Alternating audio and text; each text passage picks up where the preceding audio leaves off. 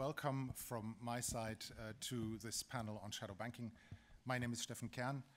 I'm the chief economist of the European Securities and Markets Authority in Paris, and I also have the pleasure and privilege to work closely with the ESRB on shadow banking issues. Together with uh, Richard Portes, we chair the shadow banking expert group of the ESRB, and it's great to see so many people from uh, the NCAs, the national competent authorities, the central banks that participate in our work on shadow banking so actively and contribute to that work, and without whom our analytical knowledge here, at least in the financial supervisory system, would be inconceivable.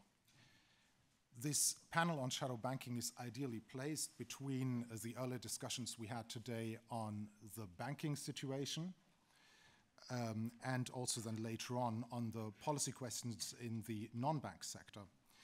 And uh, it is also ideally placed because we just had one of the pioneers of shadow banking thought, Tobias Adrian, uh, with us talking to us. So this is a very timely panel for today's sessions, and uh, let's see how we can discuss these very pertinent uh, questions that we have. Just as a little scene setting on shadow banking, um, in his opening speech yesterday, uh, President Draghi already highlighted the role of shadow banking uh, and the interconnections it creates in the financial system, especially here in the European Union. So, in terms of the importance of the topic, there is nothing to add at this stage. Uh, and this gives us an opportunity here on the panel to go directly uh, and focus immediately on the risks that we have in the shadow banking system and the implications that this has. Now, 10 years after the uh, onset of the financial crisis, we do look back at uh, substantial progress and advances in terms of both the knowledge that we have about shadow banking, but also about a wide range of policy measures that have been taken to contain the risks in the system.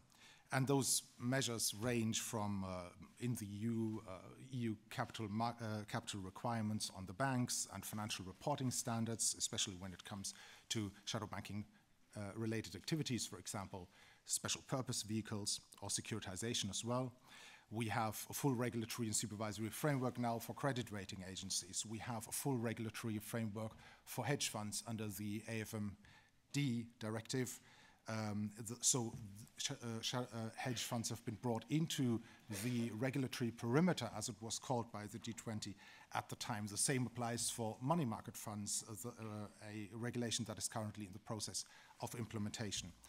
In future, we will have a raft of data coming from securities uh, on securities financing transactions coming from the new regulation that has been passed in Brussels and that will bring light to a market that is very much in the shadows still today.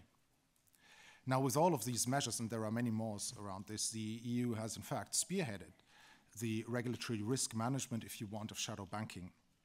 Up to the point that if we read uh, the reports by the FSB, for example, um, we apparently are at a stage, and I'm quoting the FSB in its latest assessment of shadow banking activities, shadow banking activities uh, uh, are found uh, to have contributed to the financial crisis, that these have declined significantly and are generally no longer considered to pose financial stability risks and that no other new financial stability risks from shadow banking can currently be identified. So this is great news, of course, uh, for all of us, but it would be a big surprise if that was the end of the story, and there are many topics that we need to discuss. Um, it, the findings of the FSB are reflected in the data. If you look at the FSB Global Shadow Banking Report, uh, but also at the ESRB annual uh, EU Shadow Banking Monitor, um, both institutions have achieved a great, uh, to add great precisions to their measurement of shadow banking, focusing on the core activities and the core entities involved in shadow banking. And if we look at the European Union as it is today, core shadow banking, if you want to call it that way, has contracted actually by more than 4% between 2012 and 2015 and another 0.6% last year. Uh, while other non-bank financial activities, in fact, grew over that period quite substantively. Uh, this, and it also uh, measures uh, favorably with the international experience where narrow shadow banking as measured by the FSB still continues to grow by around 3% per year in 2015 at least, uh, even though that too is slightly lower than the general non-bank growth, uh, the so-called OFIs. Now, um, these are important advances, as I said, and there is, but there is broad agreement about additional vulnerabilities that we need to be aware of going forward. And I'm just mentioning a few of them. Uh, first of all, liqu liquidity risk and leverage in certain fund vehicles, especially those that are exposed to liquidity and maturity transformation. Another one uh, that many people are working on is interconnectedness, especially between the banking sector and the shadow banking world, but also other forms of interconnectedness. Then there is procyclicality, liquidity and leverage risk through derivatives and securities financing transactions, and also through the collateral transformation chain. And then finally, there is a wide range of activities uh, that are still in the shadows uh, that are not covered by uh, transparency or other regulatory requirements. Um, and uh, in addition to that, we have now a whole wave of new innovative and emerging technologies and shadow banking style activities that reflect the evolving, if not mutating, nature of the shadow banking system and the risk of regulatory arbitrage. Now, finally, let me say that despite all the progress that we have made, uh, the analytical work on the shadow banking system is still in its infancy, if not in an, at an embryonic state. Uh, the G20 process, FSB, the European Union uh, in Brussels, they have given us new data to collect that we've started to collect over the past 10 years. And it is only now that we are in a situation, of slowly but surely in a, in a situation that we can actually exploit these data. So this is actually the starting point of shadow banking uh, and analytics. And if we look into the next five to 10 years, I think this will be an important era for analyzing and better understanding the shadow banking system, better still than we do today. Now, with all of these questions, uh, it is uh, fantastic to have a highly distinguished panel uh, uh around me uh, that will discuss the issues that we have on the desk. First of all, I am pleased to welcome Juliane Begenau. She's an assistant professor of finance at Stanford. Her research uh, focus is on the interplay of the real economy with financial markets and financial institutions. And I understand you actually received an award, the Western Finance Association Award, for a paper in, in this context last year. So welcome, Juliane, for joining us on this panel. Second, we have uh, Steven Ongena, who's joining us from uh, University of Zurich and the Swiss Finance Institute, where he's a professor. He's a research fellow in financial economics uh, of the Center for Economic Policy Re Research on top of that. Steven, thank you for joining us. And uh, last but not least, uh, Stijn Claessens, the head of financial stability policy at the Bank for International uh, Settlements, where he represents the BIS in important senior uh, decision-making groups, including at the FSB, the BCBS, and the G20. Within the BIS, you uh, lead the policy-based analysis of financial sector issues, and you oversee the work of the Committee on the Global Financial System, other committee secretariats. Thank you, Stijn, for being with us. It's a great pleasure to have you. And uh, as in previous sessions, we have 15 minutes each for introductory presentations, afterwards 20 minutes for initial discussions here on the panel, and then Q&As with the audience. With that, Juliane, please. Uh, let me start by thanking Richard for inviting me and having me on this panel. Um, so this session is about identifying and assessing the risk in the shadow banking system. And then first, what you want to do is to um, define what shadow banks are. And I'd argue that this definition is not really yet sorted out and that matters for all sorts of things. So what I, in a very broad um, start, I define shadow banks as those that shadow the asset and liability side, and those can be different institutions that do each, of traditional banks. So that would be either like lending or some form of deposit creations, for example, in like in money market mutual funds. So to give you a flavor of like why I argue that the definition of shadow banks is not really set, let me give you a sense of like what are some of the causes of shadow banks. So some of the cause, what causes for why these functions are performed outside of traditional banks. So it can be, for example, technological change. There's a few things that have happened over the last uh, decades that have caused some of the core function of banking, for example, lending, uh, to be performed by non-banks. Um, and the, and the reason is that some of these non-banks have cheaper ways of um, delivering those same banking uh, things. So, and one of the things that you, like fintech companies that have been uh, alluded to in the earlier sessions today, do those kind of perform those kind of functions. Another cause of shadow banking activity can arise through regulation that uh, favor the business opportunity, improve the business opportunity for non-banks, uh, so we can also call them shadow banks, that would provoke a substitution away from traditional banks. And then finally, there's um, that lots of regulators, of course, are worried about is like a substitution of uh, within traditional balance sheet, off balance sheet, within traditional banks, off balance sheets. This would be the traditional regulatory arbitrage substitution towards like uh, off balance sheet vehicles. So I'd argue that this is an issue. We need a functional definition of um, banks as well as shadow banks. And as technology is progressing over time, those definitions will also have to be adapted. And to give you a sense of like uh, how you can come, can, uh, why is this an issue? I mean, the first issue is for measurement. Well, I can take the US financial accounts, um, the flow of funds, and can add up all those um, institutions, sectors that are listed there that do something similar on their asset side as traditional banks that are not depository institutions. The depository institutions are depicted here as the light blue line. This is from 98 to 2014 in trillion. And you see that, as we all know, the shadow banking system has grown tremendously over this time. But at the same time, you can, in the shadow banking system here, shadow assets are the dark blue line or violet line or whatever you want to call it. And you'd see that you can already pick this line apart. Well, why? Because some of these forms of shadow banking, for example, fintech companies, may not be featured in those because their functions are not really, or their business model is not balance sheet based. So there will not, the balance sheet will not be reflected in that blue line. Some of them also is uh, activity by traditional banks. Uh, the bank holding company can own security broker dealers, can own finance companies, can own asset-backed security issuers, and all in, in, in, an umbrella that are part of this dark line. So but it matters for measurement, and it also matters for how to develop models and to thinking about shadow banks. So what are the firm characteristics that we uh, should uh, place into these models? What are the frictions? What are the environment that these uh, that we should focus on? And of course, all these gonna matter for um, policy results, as I will um, show you in a couple of minutes. And it also matters for um, not or not thinking about the opportunities that can arise from shadow banking, from different forms of shadow banking that lie in an efficiency gain that can arise through like adoption of new policies, uh, new uh, technologies.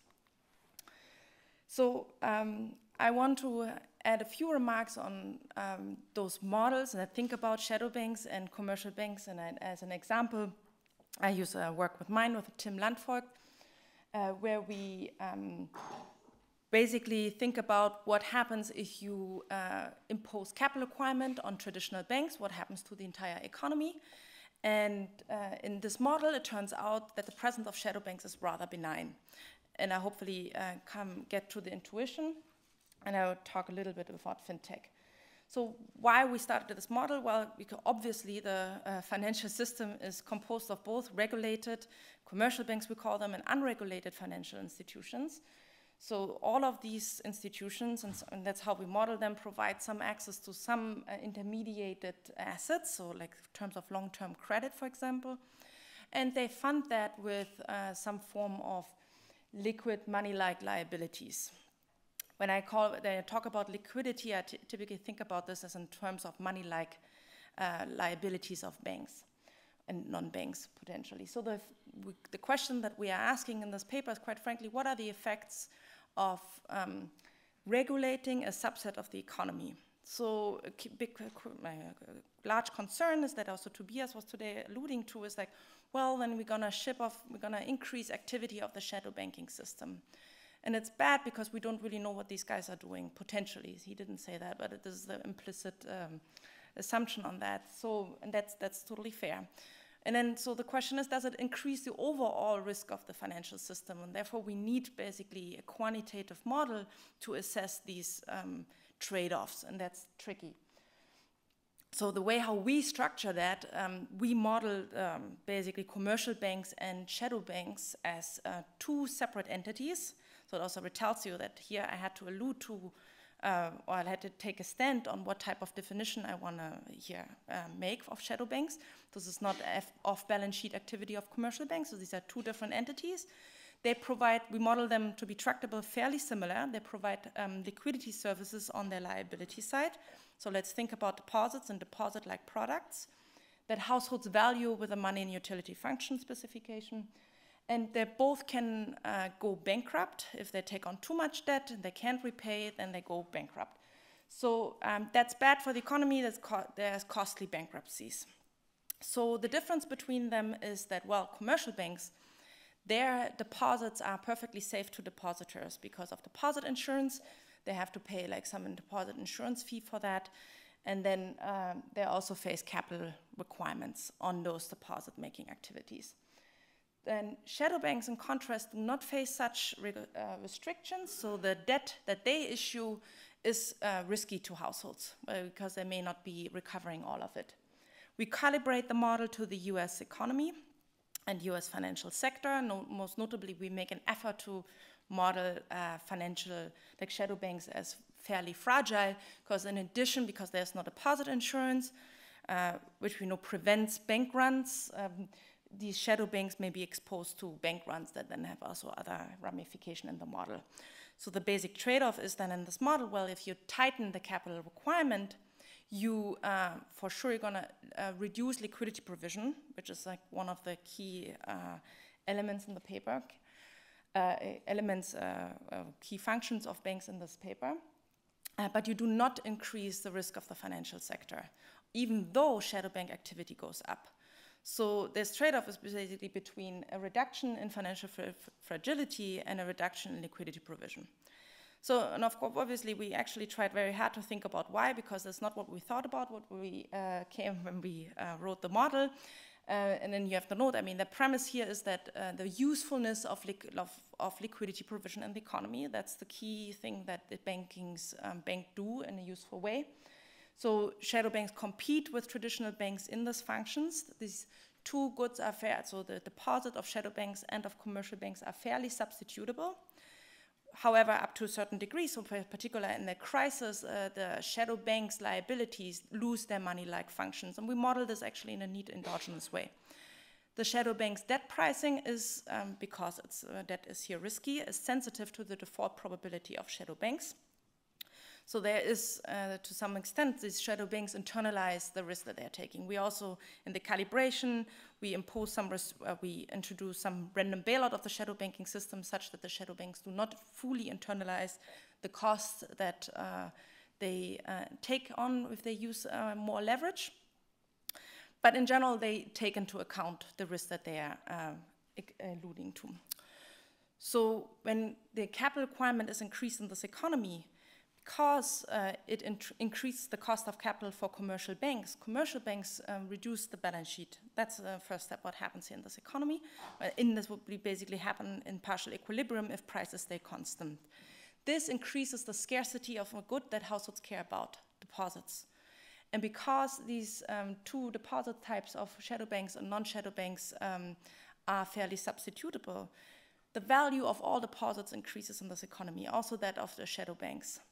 So the bond price increases, therefore, and the, that induces a reduction in the rates. So these banks can, all of them can fund themselves as cheaper rates. So it sounds very unintuitive, but it happens in, in it's because it's a general equilibrium effect.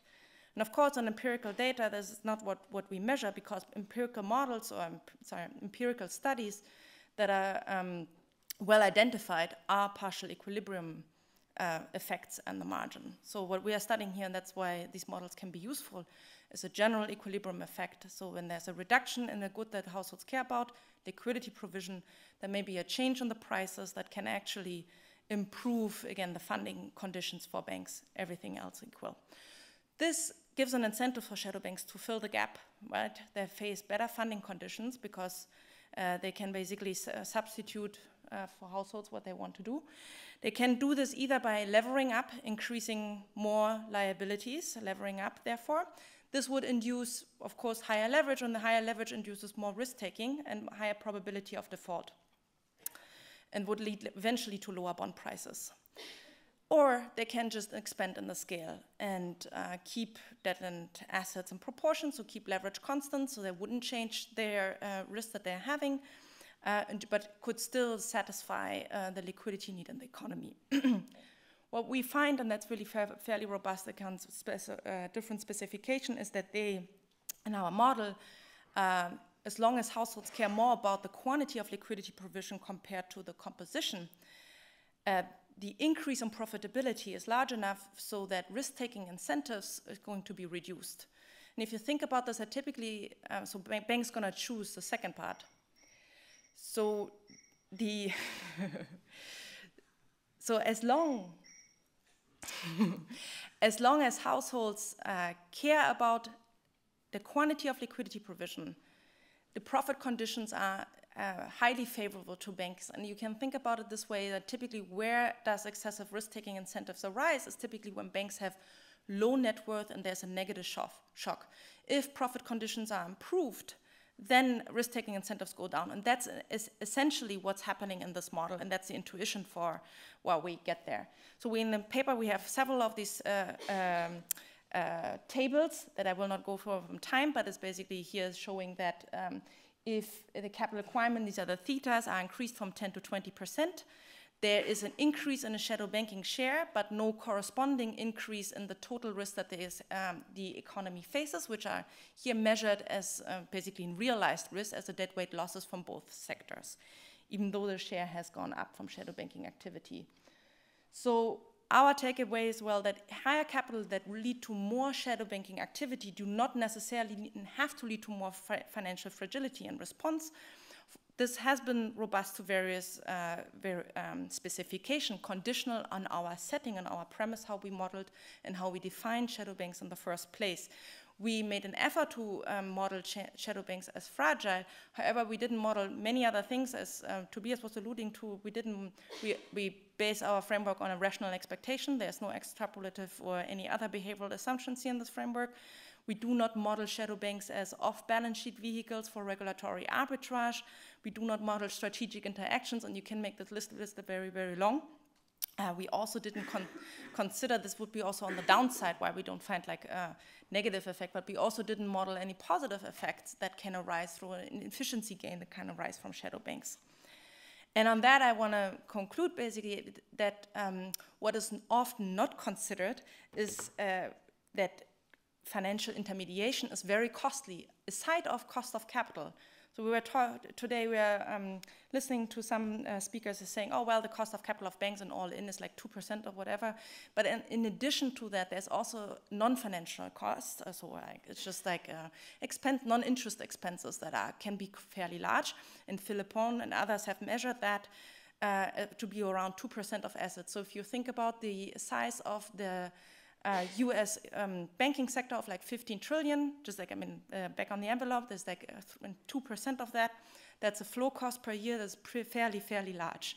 So uh, to this point, so fintech and other, and I mean, those similar technologies are also now adopted by um, non uh, by, by the banks themselves. Those uh, give rise, give opportunities to lower these um, cost that the financial sector actually is using up in order to provide these uh, financial services that are important for the economy. And there's a several um, examples where this is uh, more or less successful, and I'm sure that there is uh, there's a lot of ramifications for risk considerations. However, we um, have to think about that uh, financial intermediation uh, can also learn or can improve in efficiency, and those efficiency gains can be induced from more competition, also from the shadow banking system. And so to summarize my points, going to say that we need a common definition of shadow banks to both measure and identify the risk and uh, understand what are the, actually the activities they're doing, also properly frame the issues so that we can um, study uh, policy relevant questions. And also to note that not all forms of shadow banking uh, activities are not necessarily, using a wider definition, are not all that bad. And with that, I would like to conclude and thank you for your attention.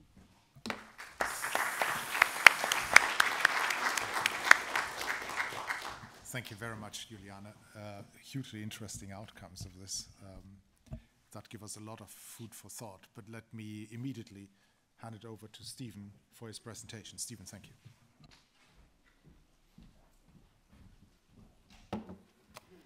So when um, Professor Portes invited me a couple of, oh, quite a while ago actually, um, to sit on this panel on shadow banking, I was a bit stressed because I had, not been working on shadow banking uh, that much or at all. But I took it as an admonition of saying you should be working on shadow banking. So what I'm going to present today at the end of my talk is, is um, some ongoing work on this account. But before doing that, I want to also uh, talk a little bit about ongoing work on um, spillovers regulatory arbitrage in general because um, it's, it's uh, clear that one important aspect of the shadow banking activities may well be uh, this type of regulatory arbitrage. Um, Julien was already talking about that. Um, and so on that account, um, I'm going to talk also a little bit on, on ongoing work on this account, talking through uh, a few empirical exercises I've engaged in. So um, without much ado, it's all about spillovers, not the type of spillovers that are uh, being depicted here. Um, that comes later, I assume, I hope. But so I'm going to talk about spillovers across sectors, across countries, and then um, into the shadows. So across sectors, and here, uh, to some extent, what I'm um, like to talk about two minutes is, is work that actually um, indeed uh, corroborates what uh, Tobias was, Tobias was uh, alluding to earlier, that targeted macroprudential policies may as well lead to uh, spillovers into uh, different areas of the, uh, of the lending by banks. And so here this is um, the macroprudential policy, if they're targeted, they're going to go to specific agents, specific sectors, and the, the, the real estate business, uh, residential mortgage lending is, is a, a, particular one we're going to focus on. Of course, these uh, targeted macroprudential policies may affect other parts of the economy and may be circumvented by creative uh, agents. And so the piece with um, Raphael Auer um, in BIS working paper where we look at, indeed, the compositional effects of the introduction of the CCYB uh, in, in Switzerland.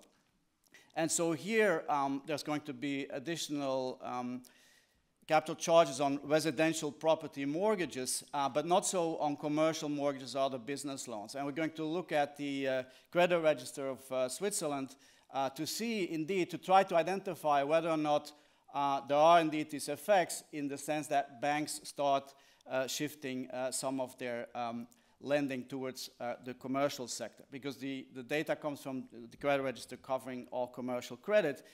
And so um, uh, allowing us, giving us micro uh, data, we can sort of try to identify um, within firm or at least within cluster how indeed uh, banks that are um, uh, more heavily exposed to these additional charges that come as a consequence of this uh, CCYB are going to start shifting uh, their lending. And so what we find indeed is that those banks, first of all, they're going to shift more to commercial lending, so they expand their uh, commercial lending. We don't have access to uh, detailed data on the residential property mortgages, but we do observe indeed that they're increasing their uh, commercial lending. They're going to uh, lend at a relatively higher interest rate, but maybe more importantly uh, in, in this context is also they're going to start lending uh, to small commercial real estate and risky firms. And so to that extent, even though it's, it's, it's impossible uh, with the current data to actually um, investigate this further in terms of maybe relabeling that they may be doing in terms of uh, making some of these residential mortgages partly into uh, commercial ones, uh, or whether or not also some of the um, uh, the property developers that seem to be uh, obtaining more loans uh, from these banks start uh, fulfilling uh, an intermediary role, at least on, on the basis of the extant data, what seems to be uh, present there is that there is a, a, shift in terms of from residential to commercial, also commercial real estate, and potentially um, uh, to the extent that we can adequately measure this more risky lending.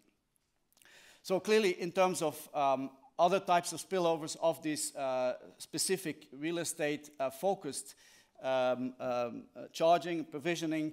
Uh, in the paper uh, on, on, Spain, we did show that indeed uh, this increase in provisionings to construction real estate firms led to also some volume effect in terms of lending to non-construction real estate related firms, so really a compositional effect. and in, in, in a paper by Jose Luis and, and, and Gabriel and, and, and uh, co-author Anguren, they, they also show that there's also compositional effect as a consequence of capital, uh, new capital requirements. So all of this suggesting that there's this type of spillovers going on. Of course, also a paper by Auer all showing um, that there are these um, spillovers uh, taking place. Now, this is uh, within, within the bank, if you want. Um, clearly, there's also, uh, for global banks, lots of opportunities for um, arbitrage, regulatory arbitrage. And again, on, on this account, um, identification there is more difficult because typically it's, it's, it's hard for the time being to get full-fledged access to microcredit that covers many countries at, at once, which would be truly needed to identify uh, or at least take steps towards identifying um, spillovers, if not regulatory arbitrage, where of course the hurdle is, is even much harder because you need to show sort of uh, one for one whether or not uh, this type of activities take place. But at least it seems to suggest that the, from, from some of the extant evidence, um, regulations, where regulations are laxer, uh, banks are going to start lending more and, and, and more riskily. And so that extent, country-specific regulatory constraints may also lead to some uh, risk-taking. Now, on this account, may be worthwhile to point out that banks are, um, uh, if you start looking at uh, microdata on, on, on, uh, on, on, one country and, and, and observe incoming uh, shocks to which banks in these countries are subject to, they're uh, very, uh, very nimble, if you want, in, in adjusting uh, their lending. Now, let me then uh, sort of conclude by uh, talking a little bit about an ongoing project with Natalia von Westernhagen and, and Peter Bednarek, who's they're both sitting here in the audience, on the um, um, lending to other financial intermediaries. Mm. So the idea is there to look at how, indeed, for a, a subset of banks that may be uh, specifically um, hit by uh, the um, capital uh, uh, uh, uh charges that are present in the standard, standardized approach, how they may, because this is very much ongoing work, so I have to be very careful, careful how they may engage certain OFIs who are then potentially engaged if not the same firm, uh, a, uh, uh, uh, same set of firms that this bank otherwise would have engaged.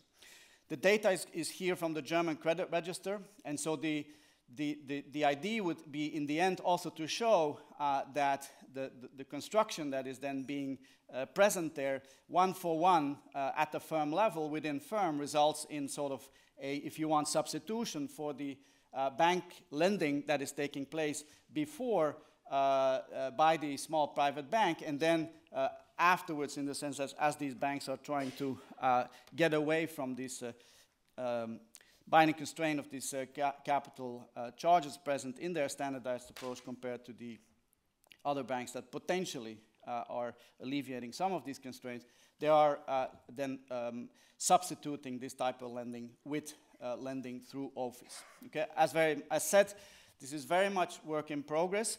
So um, now, what is the data that we have currently uh, lined up? So we have the BAKIS uh, potential database and then the merge with credit register.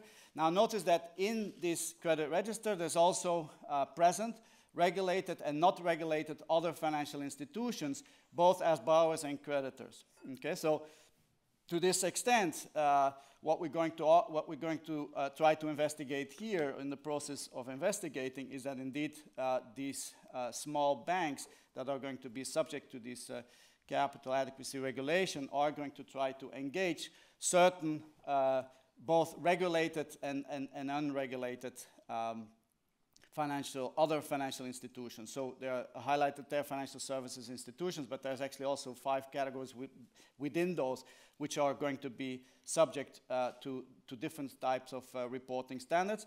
Then there's the uh, not, not regulated there, also present in the database in terms of their uh, credit activity, financial holding companies, uh, financial companies, and financial asset management uh, companies. Okay. Now, as I already said, there's much more to be done, so let me just report a few snippets of what we've sort of so far been lining up uh, in terms of um, data and in terms of, if you want, univariate statistics. So all German banks are going to lend to this set of OFIs uh, I, I, just introduced. Um, Now, big banks, Landesbank, cooperative, cent, uh, central banks uh, lend to many OFIs, but the small private banks, the savings and cooperative banks, they're going to lend to very few OFIs. Actually, in many cases, only one. And we, we think that is, that is interesting because this potentially could be part of sort of a configuration that is, is, is present there. Now, over time, this exposure has increased dramatically. So small private banks sharply increased their exposure to this OFIs after 2008, as you can see there, which is now uh, amounting to 30% of their core capital. Okay? So now, here, um, it's also the case that the lending of this OFIs, at least what we are currently having re being reported increased uh, quite substantially. Now, there is an issue here ab about reporting, so we want to be very careful with this slide. Having said that, the fact that they're actually appearing given certain uh, requirements of reporting is interesting, that they suddenly are, are there. So the OFIs are now at least more actively or, or, or even uh, to, to a larger extent, potentially with all the caveats involved, uh, acting both as lender and borrowers. Now, OFIs are distinctively less risky than the real sector firms that are engaged, but they are going to finance real sector firms, uh, more risky real sector firms than, than, than, these German banks. So this is sort of present in all these small, small numbers there. But um, especially when the OFIs are going to be financed by German banks themselves. So all in all, this is, this is interesting for sure, uh, tells us that we need to dig more into this. Anyway, is there something worth investigating further? Potentially. So after 2008, there's a, a, very sharp increase uh, in, in how these private banks engage these singular OFIs. These offices are going to lend to risky firms, uh, especially when obtaining uh, credit from bank. Again, this needs to be teased out further empirically, but this could be, one motive could be to save on regulatory capital. Um, and so we plan to investigate what happens after regulatory to this regulatory change, try to identify it better also in time, uh, how the share of the corporate credit wallet, how this substitution took place, potentially uh, between this uh, private bank and the if you want, the favorite OFI that is being lent to by this bank. Of course, there may be others that are engaging the firm, and that makes it even more interesting in terms of empirical exercise and identification. Okay, very tentative conclusion. So clearly, there's a lot of data coming, I hear, so there's more need for empirical studies, spillover effects, using loan-level data. I mean, more research is warranted also to keep empirical researchers like myself off the street. Thank you.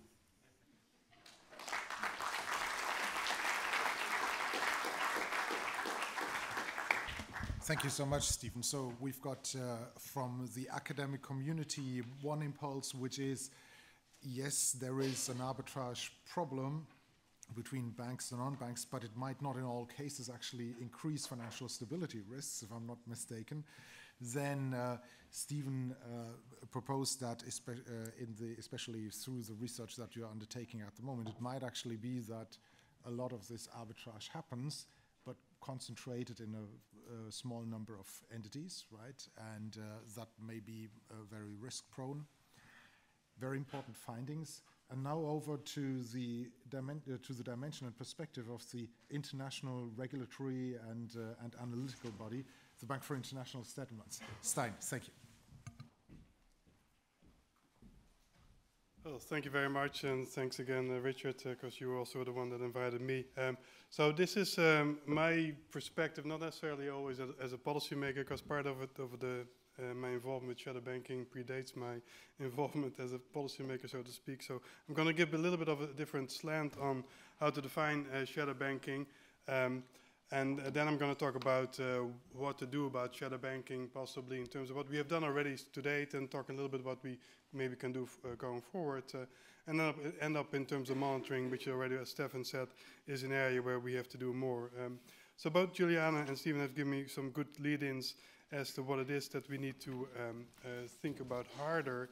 Uh, I, being not a theory person, I can only do simple theory, so I have this slide as to what uh, the theory of financial intermediation was before we kind of got shadow banking onto the picture.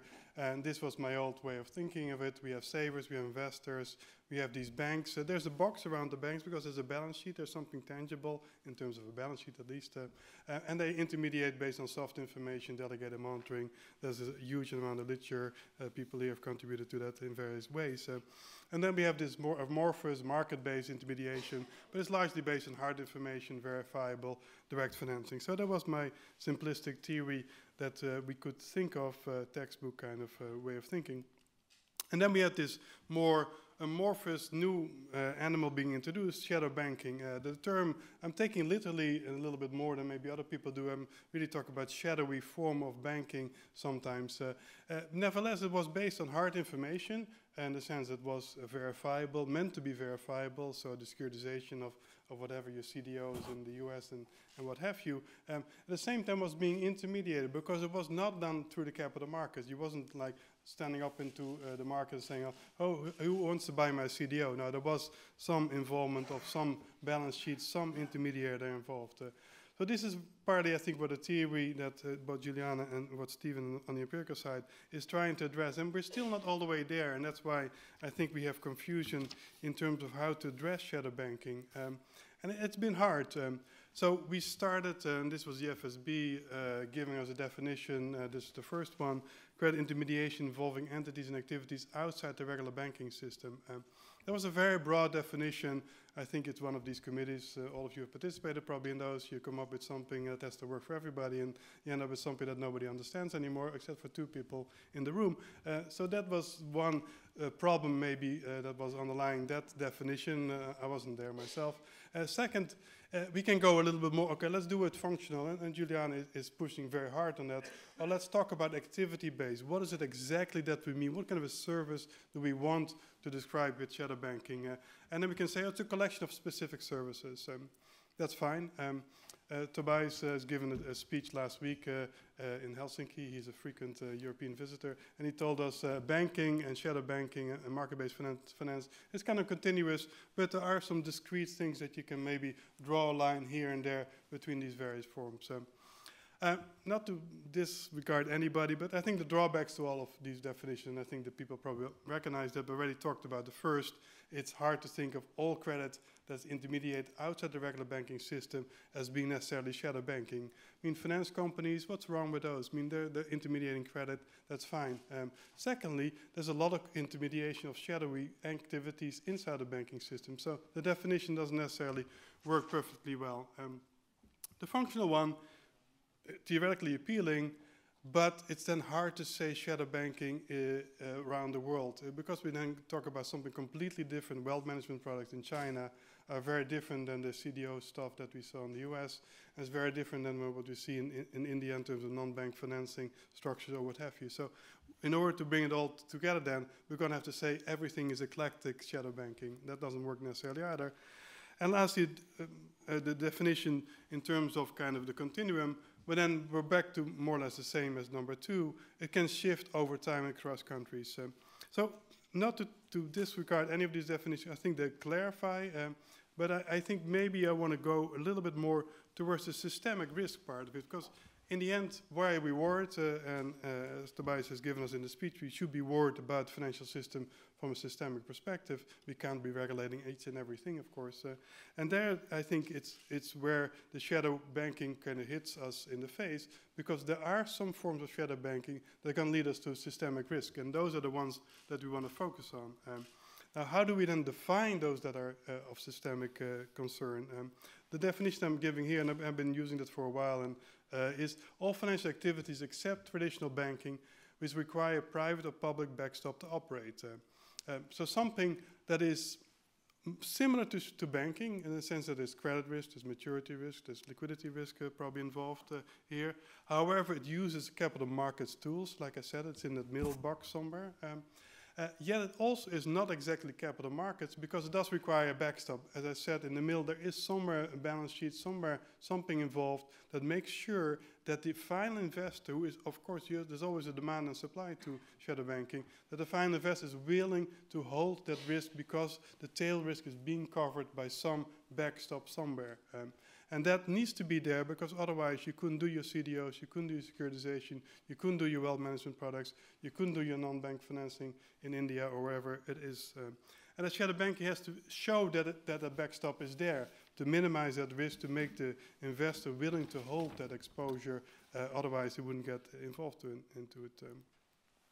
Now, what's the problem in a sense? Um, well, that, that shadow banking that looks for that backstop in many different ways. Uh, so it's not easy and always uh, uh, practical to identify it. Uh, and that's where, of course, why we call it shadow banking. Otherwise, if we're on the balance sheet of the bank, we knew it and we can deal with it. We have our regulations, we have our supervision. Presumably, although not always successful, we can deal with those kind of risks to some degree. Now, the shadow banking is, is particularly problematic here because it has a very low margin for operating. Um, it's not necessarily that it's operating at very high margins. So uh, without its own balance sheet, without its own profit generation, it cannot really provide the backstop. It's not a credible way of doing that. Um, so what it does, and it, it, does, however, at the same time want a large scale of operations to be economically feasible, it looks for that backstop somewhere else. Um, it can do that in the private side, so back to the banks. There's always a capital there that it can look for. Existing institutions can also be insurance companies for that matter. Um, or it looks for the public backstop that can be explicit or it can be implicit. Um, many forms of guarantees were used in the bad times of shadow banking, but there still are there in many ways when we see these shadowy banking forms uh, operating, and I gave you some examples as well. But if you think more generally of safe asset provision, which is an important component, as Juliane mentioned, of, of shadow banking, that typically looks for something of a backstop. That can be an exemption from the bankruptcy code in the derivatives forms. It can be in the form of a, some stay exemption there. Uh, it doesn't have to be explicit. It can be in implicit uh, forms. So. What does it mean for policy? Well, for policy means that we can zoom in a little bit more concretely, I think, on sh when shadow banking becomes a systemic issue. Um, so we need this franchise value. The shadow banking activity will look for that. Um, uh, that also means it's not easy to regulate because it is a little bit where the market is not able to provide the discipline. Markets are not good at disciplining tail risk, obviously, and that's exactly where the backstop becomes relevant, and that the market will not discipline the shadow bank for that because it's tail, it's outside of their typical uh, way of thinking. Um, at the same time, it is within regulatory reach because, after all, the backstop is typically either from a regulated institution or from the public sector. So we could do dramatic things like exempt stays or get rid of stays, for example, if we wanted to reduce certain types of shadow banking activity. Um, it also means that migration is maybe less of a concern because you can't get, you, things can move away all the way to hedge funds, but then I'm not worried about it and I wouldn't call it shadow banking anymore because there's no systemic risk necessarily because I don't have the backstop there in the first place. And, and hedge funds were not a concern in the last crisis uh, in terms of systemic risk. Um policy issues. What, do, what has been done? Uh, the list of first five points is basically the FSB agenda for the last few years. Um, I think point one, much progress. It's kind of cutting the ties between the banks and the shadow banks in terms of regulation, step-in risk and the like, minimizing the, the, direct ties, the indirect ties between banks and shadow bank activities. We're not all the way there as the uh, monitor for the EU, for example, shows, lots of interconnections still exist, so there are potential concerns here. Money market funds, US, of course, major reforms, maybe not the first best, but nevertheless something that is reducing susceptibility to runs. Uh, transparency, securitization, maybe even more than we needed, but in the sense securitization has been maybe a little bit less than we would like to have, have been, but nevertheless we have done quite a bit.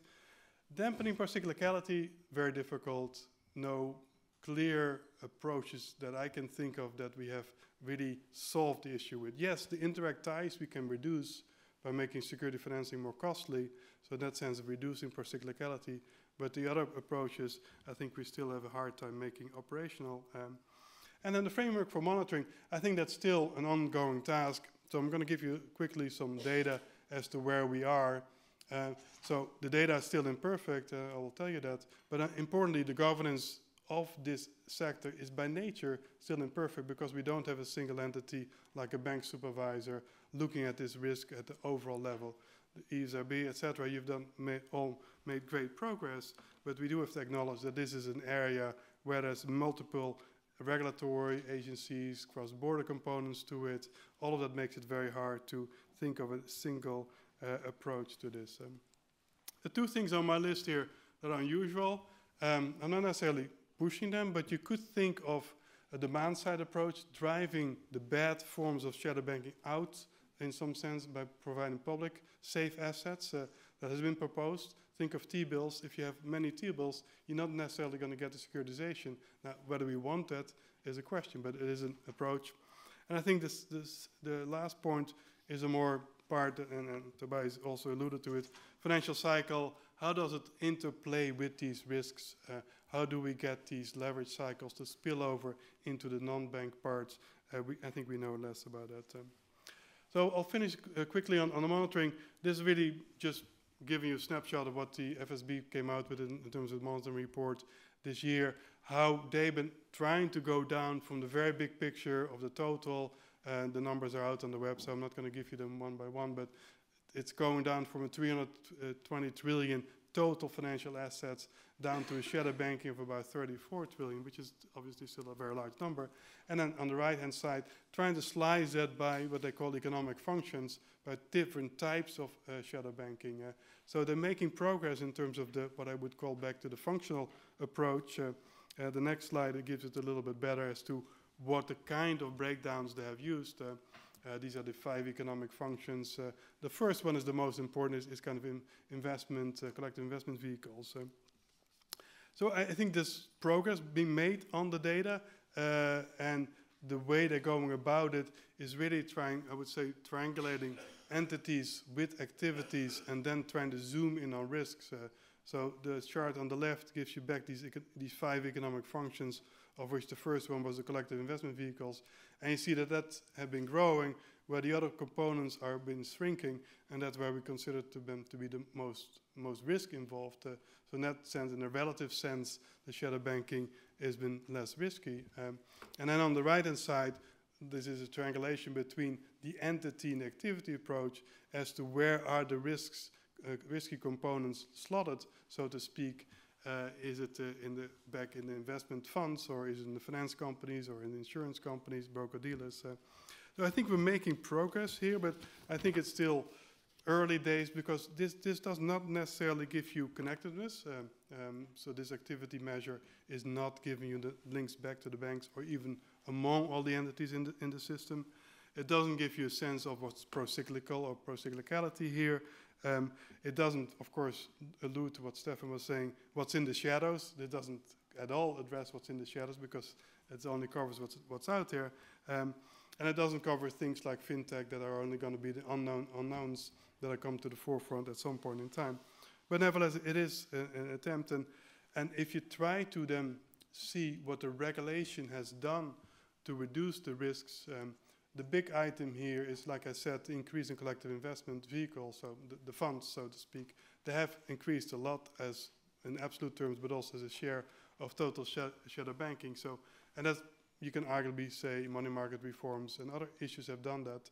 Then if you go by the other forms, there's specific issues, regulations that you can attribute, try to attribute the decline in the more risky components. Uh, but I think it's still early days because it's, it's not necessarily addressing all the risks that we know ex that exist in shadow banking. Um, so to conclude, I think we still need to define shadow banking better with a good uh, systemic perspective. Uh, it's partly about shadow banking. Uh, the, all the examples Steven has given us, there's a lot of regulatory arbitrage.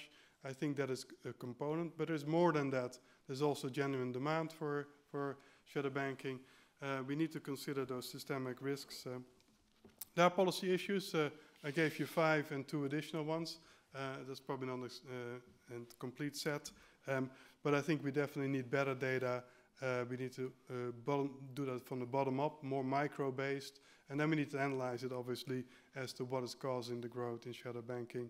Um, regardless, I think we're always going to need this somewhat of a backstop as a smell test. Uh, I think as regulators, as overseeing of, of, financial systems, we always have to be willing to step in and say at some point in time, we don't like this uh, and uh, we do this for systemic reasons. Uh, that's tricky because markets want certainty, but I think there's no way around. At some points you have to say that. Uh, thank you.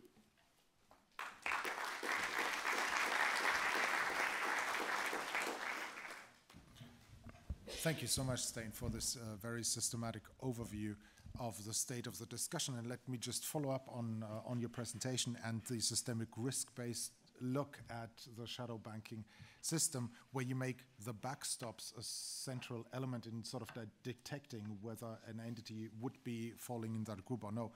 And you're saying that most of these backstops in reality would be implicit. Step-in risks, I think, is, uh, is, is, one of the things that would probably um, count in this regard. But the problem with that, wouldn't it, uh, would be that uh, you would only realize that there is a uh, that, that, there is a backstop after the fact, after after something has happened. So on a, on an ex ante basis, measuring or trying to identify implicit backstop guarantees would be very difficult to do. After all, wouldn't it? I think this is always a regulatory uh, game that we, we play, and it's always the regulator being a little bit behind. So uh, yes, we need a, but the regulator needs to take a dynamic perspective as to where they think the market is going. So if you go back to the development of shadow banking uh, in the US particular context, uh, with SPVs that were getting uh, uh, liquidity and other support from banks, that started out as a very initial credit line provision of liquidity support that we know from banking of, over centuries, right? So, and then suddenly started to grow into something more. That, that should have uh, raised alarm bells, I, I, think, ex ante. To say that this is only exposed something that we discovered, um, I think is a little um, naive. Um, so uh, let me leave at that. Uh, so I think that that is where I the smell test is going back to somewhat of the governance issues that I mentioned before. Um, we have going to have this struggle, and this was this true in the morning as well when we talked about macroprudential issues and the like. Uh, from time to time, we have to go into the market and say, listen, we don't like necessarily what you're doing, is because we, we don't trust that you have covered all the risk on a systemic level. And it's not just only entity-based, right? Uh, uh, because it's the collective um, misinterpretation of the market of certain risks. Uh. Maybe also bringing that to Juliane and Steven, the uh, th this definitional question around shadow banking and the perimeter question, how relevant is that for your own work and for the analytical work? Uh, is that a core issue? And I think you, you made an argument for also the activities-based sort of perspective uh, on the issue. Is that an, of immediate concern to your to your immediate work, or is that something where you would say the main most important thing is that we dedicate our attention to individual risks that we see or that we smell in one way or another? I mean, personally, operationally, of course. Um, this going to be depending on sort of if you want a prevailing um, view on on uh, where exactly these uh, shadow banks are uh, activities are located. I, I, think from a sort of pure empirical point of view, one can sort of be agnostic and just see uh, the type of activities that take place. And uh, so, in that respect, uh, I think it doesn't um, necessarily preclude further empirical evidence on this. I would say. Yeah, I mean, uh, if you model things, you have to know what you model. So um, you have to make a case for a definition. And I think uh, what is um, key problem though with with any of those definitions, I mean, the question is of whether shadow banks. I mean, ideally we want to have something that is like uh, systemically important, and what would that mean in many models is sometimes like risks that are not well understood, and so you have to think about like what are the functions where um, there are there are risks that might not end up to be well understood. So that's tricky. Yeah. Um, and uh, with that, a second question related to the definitional uh, issue. How we, oftentimes we perceive the definitional issue as one of uh, incoming new risks that we look at, um, and therefore enhancing the, the perimeter of the def definition time and again so th that temptation is there and it's, uh, it's important. Um, do we also have already an idea, and given the advances at the policy level, uh, how we deal with um, taking uh, certain entities or activities out of our definition once we have the feeling and feel comfortable that uh, uh, the risks have been addressed. Think of money market funds in the European Union now that they uh, are under a full regulatory framework. Does this mean that we, if we were rigorous about it, take this out of our definition of shadow banking? I, think the term shadow banking was always an unfortunate term. So uh, there's some elements of it that maybe shouldn't have entered uh, in the first place. Uh, so, but, but then we should also be willing to take it out. I think yes, if we have confidence that these um, regulations are fully sufficient. Uh, at the same time, and again it goes back to, to the point, risk will shift. So it's an endogenous uh, animal that you're facing, right? So uh, to say that risk uh, is, is always going to be reduced in one element of the financial sector, I'm loath to, to go for that uh, conclusion. So that definitional issue will be necessarily a dynamic thing that we'll need to catch up with uh, and correct. But it is important you pointed that out in order to focus and help us focus on the on the risk analytical uh, side and exactly follow up on uh, on what we're identifying and maybe that uh, risk side is the most prevalent one uh, also on this panel. Um, let me go right at it. We've got a, uh, in, in the, especially amongst the international organizations, a, an activity-based sort of approach uh, where we look at uh, things like liquidity and leverage, and the transformation of, of credit risks, and also the interconnectedness. Are we getting that right? Are these the right uh, risk issues to look at, or are we missing out on something at the moment? Technically speaking, or also from, uh, fr from, from the perspective of profound analysis. Juliane. I would refer to the empirical uh, crowd here. yeah, I, I, mean, I guess uh, it's it's early days. Let me, uh, right? I mean, in terms, I guess uh, having micro data on this account will uh, greatly help. Also, I think there, um, also actually seeing that there is, there is so little. I think, of course, a lot is coming. I, I, I know. I guess will help us a great deal in identifying some of the risks that are being taken over time. So I think in that aspect. Um, do you, if you want a wish list of what would be nice to have, uh, that's not going to be easy. So, uh, interconnectedness already mentioned. We need much better data there. That has is being done at the national level to some degree, and then including at the ESRB level. But globally, for sure, we don't have that data yet. Uh, so we need to do more, um, drilling down individual institutions sometimes, but at, least to the sectoral level. Um, I think on the cross-border side, we have very limited data yet, and, and we know that's very important in, in many respects. So we would like to see more there. Um, inconsistency of data is is is getting better, but still uh, is not there. I mean, uh, Richard Portes uh, last week pointed out the discrepancy between the micro and the, the ERGA data. There's a huge gaps there. If you look at individual data, um, we, we can do better. Flows The funds data is, is nice, but uh, that should match up to some degree with the micro data that we get from commercial sources, right? Uh, and that gap is, is in some circumstances quite large. Uh, um, I think we can do better in terms of thinking in a structured way of how we monitor innovation. Uh, so the smell test um, is, is I was using it very loosely, uh, but of course we would like to give the, the, regulatory community a little bit more of a template as to how to go out and, and monitor this. Uh, there are lots of networks of people that talk about how innovation comes about and how we can monitor it, but the more we can give that support and academics can help us in re that respect uh, of how we, we, do we document that. Uh, uh, clearly market intelligence has been become a bigger area of central banks and regulatory agencies. Uh, uh, but it's not yet a science and it's still a little bit more of an art. So I think there uh, going beyond case studies and would be very, very useful. Um, and then, then yeah, uh, drilling down, where is where is the risk? Where is the the externality, right? So why why are we concerned about this? Because sometimes systemic risk builds up to this, some of the mechanisms uh, that were mentioned earlier. Um, but we may be able to document it if we had very granular microdata. So um, is, is indeed the behavior of in one individual contingent on the behavior of the other individual, through which I then see the complementarity that gives me the uh, the concern that I uh, should have. Uh, that that data isn't always there, but nevertheless, sometimes we have it. Uh, security, uh, financing data is more available. Trade repository data is more available. Um, it's been collected. It's a huge uh, data exercise, uh, and I think we've only started to, to really get into it to address some of these issues in terms of shadow banking and risks that are out there. I know the ESRB and other ones are, are starting it, but with the academics, maybe you have to give them a little bit more access. I'm sure, maybe not Juliane, is more the theory person, but I'm sure Steven would, would happily help you out in terms of uh, some happily of take data also.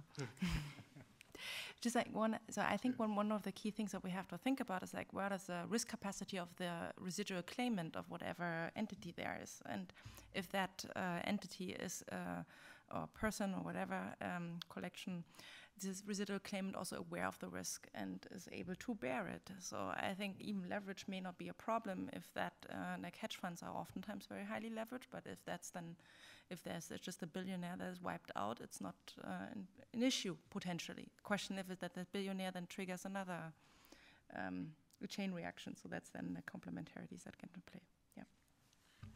which would speak directly to, again, to that uh, systemic risk sort of identification uh, of shadow banking activity.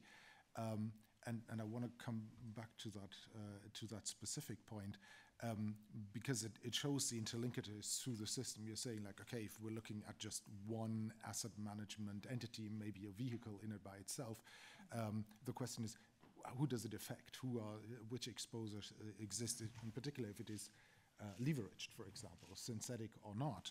Um, the question is, how can we best actually monitor this horizontal interconnectedness in, uh, in the system? We are al already struggling, I understand, with identifying individual entities or very limited activities and find out how exactly the risks function and what the channels are.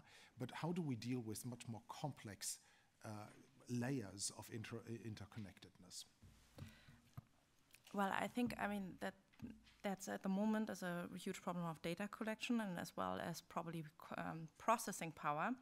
But um, certain fintech companies already, I mean, they do this on a very small, a smaller case. Like there's this company called Interactive Brokers. They uh, do real-time monitoring of your portfolio and they allow investors to borrow against that. And so they allow you to um, yeah, basically uh, borrow against margin, and they liquidate you immediately once this margin position and the value of your portfolio in real time measured is um, below what you basically uh, had borrowed.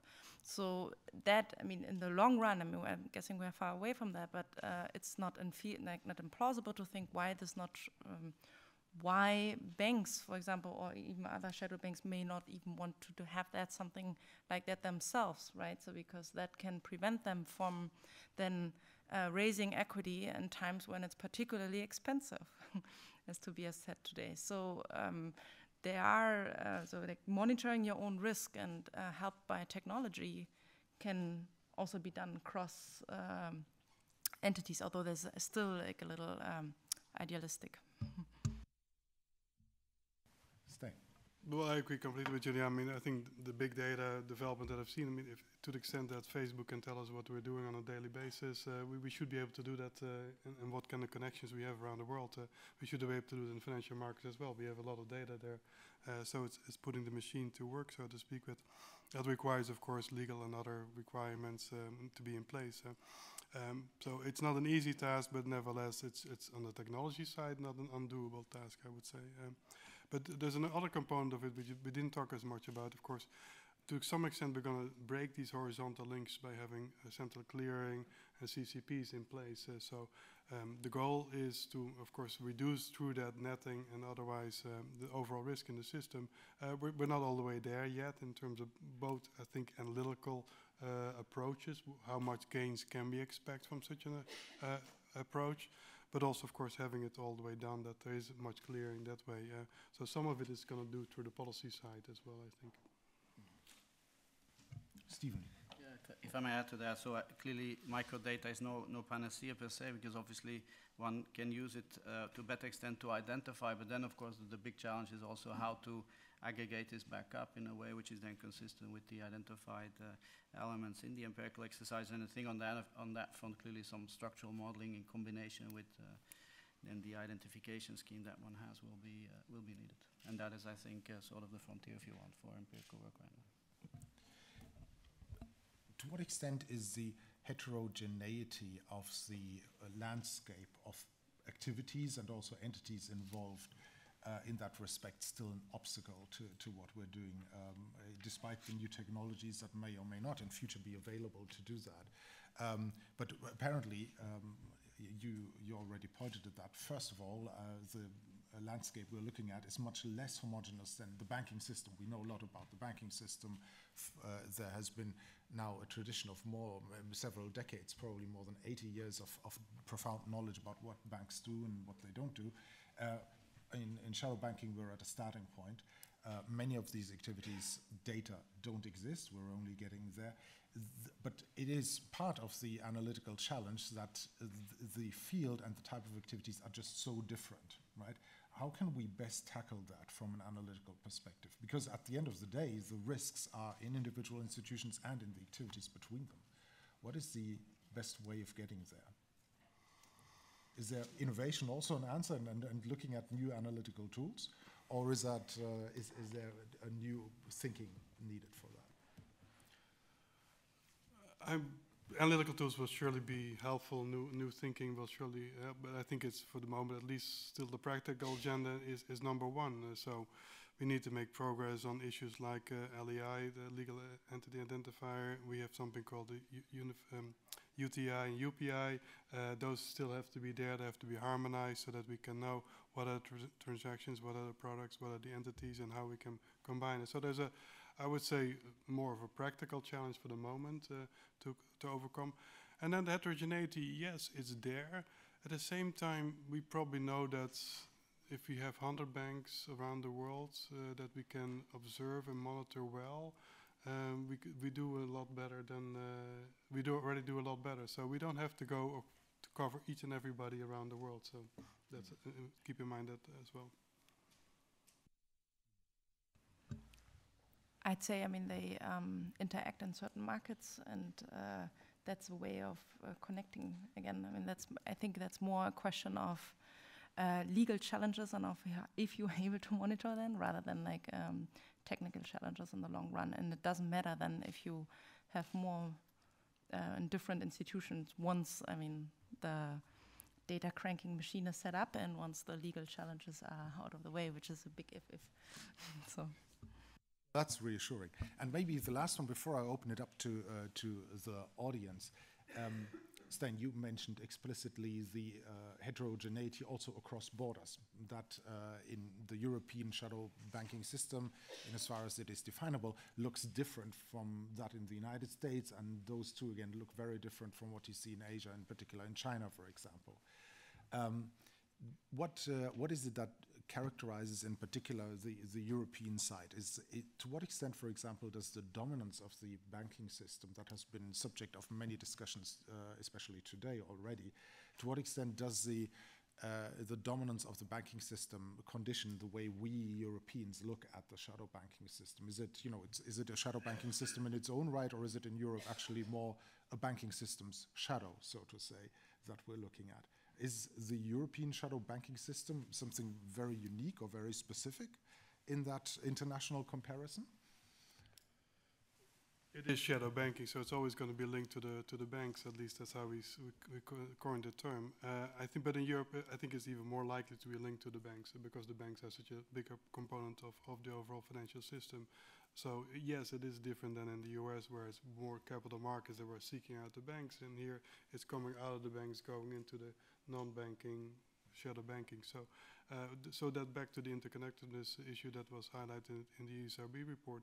I think that's a very important component for the Europeans to track and be sure that there's no spillbacks coming into the banking system.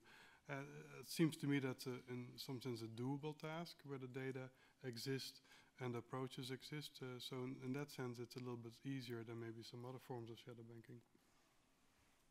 And, and that would be corroborated, Juliane and Steven, by your findings that the channels are maybe, mainly through from the banking system into ancillary activities or arbitrage uh, activities into which they are arbitraged out, right? That is where your, your elements would chime in. Uh, and if I may, uh, for China, I mean, obviously it's a very different system, but also there, I mean, I worked on China showing that maybe the formal, informal uh, sector there actually cooperate in the sense of potentially up to a certain point delivering uh, financing performance for firms. So it's of, of course a much larger portion of the financing that these firms receive than in Europe. So uh, and it is a very different uh, sector altogether. which is a good point then to uh, open it up to the audience. Please give me a sign, uh, everybody who's got questions here.